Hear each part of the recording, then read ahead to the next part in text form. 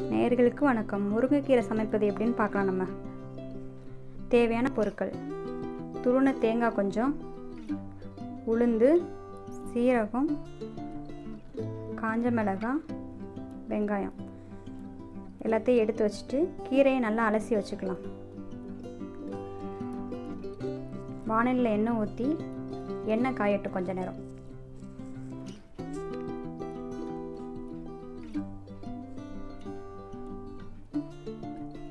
எண்ணெய் காஞ்சோடனே நம்ம எடுத்து வச்சுருக்க உளுந்தம்பருப்பை போட்டு பொன்னிறமாக வதக்கணும்.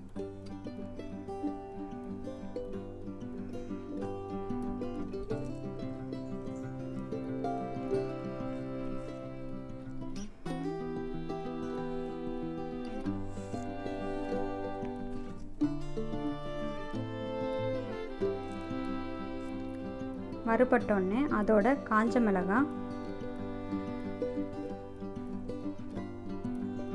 நம்ம நறுக்கி வச்சிருக்க வெங்காயம். சேர்த்து நல்லா பொன்னிறமாக வதக்கிடலாம். வெங்காயத்தோட பச்சை வாசனை போகிற வரைக்கும் வதக்கணும்.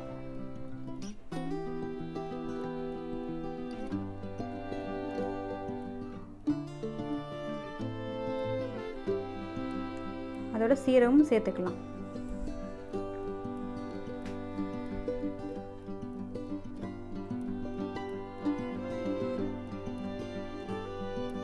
நம்ம அலசி எடுத்து வச்சுருக்க கீரையை தண்ணி வடிச்சிட்டு அந்த வானிலையில் போட்டு வதக்கணும்.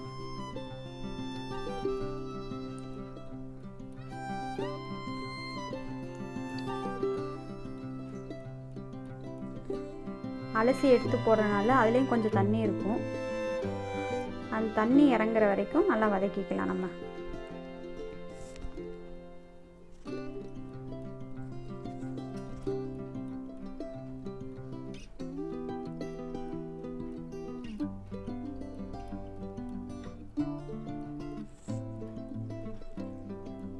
கீரை வேகிறதுக்கு இந்த தண்ணி பத்தாது.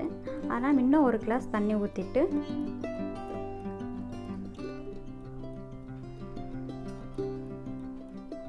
வேக விடணும்.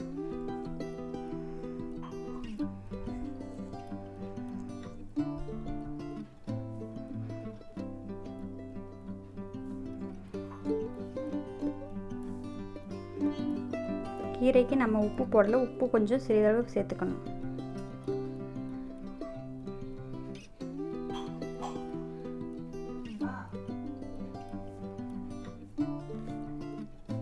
வதங்கினோடனே தண்ணியெல்லாம் இறங்கினோடனே தேங்காய் துருவலை கொஞ்சம் சேர்த்து நல்லா பிரட்டி எடுக்கணும்.